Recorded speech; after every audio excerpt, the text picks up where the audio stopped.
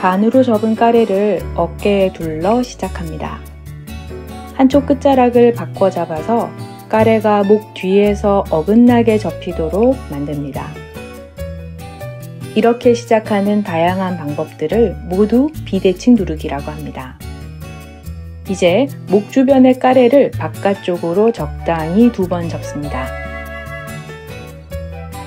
이 부분을 접는 이유는 매듭을 쉽게 묶고 까레의 네크라인이 잘 유지되도록 하기 위해서예요. 이제 모양을 살펴 매듭을 묶으면 완성입니다. 그런데 많은 분들이 여기서 포기하세요. 하지만 이제 포기란 없습니다.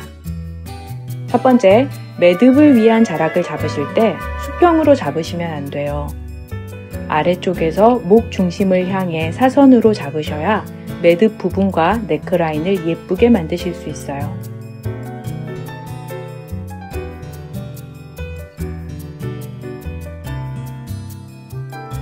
두 번째 팁입니다. 매듭을 묶는 자락이 두툼하기 때문에 두 자락이 움직이지 않게 양쪽 모두 꽉 잡아서 묶으셔야 합니다. 제대로 묶으셨다면 가래를 원하는 방향으로 돌립니다. 마지막 팁입니다. 한 손으로 매듭을 잡은 뒤 다른 손으로는 목 아래로 늘어지는 가래를 조금 당겨줍니다.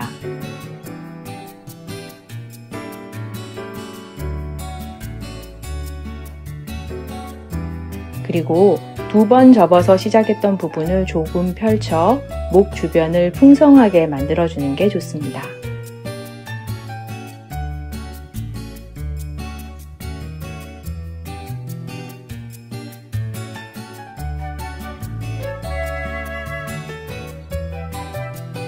이제 연습하시는 것만 남았어요.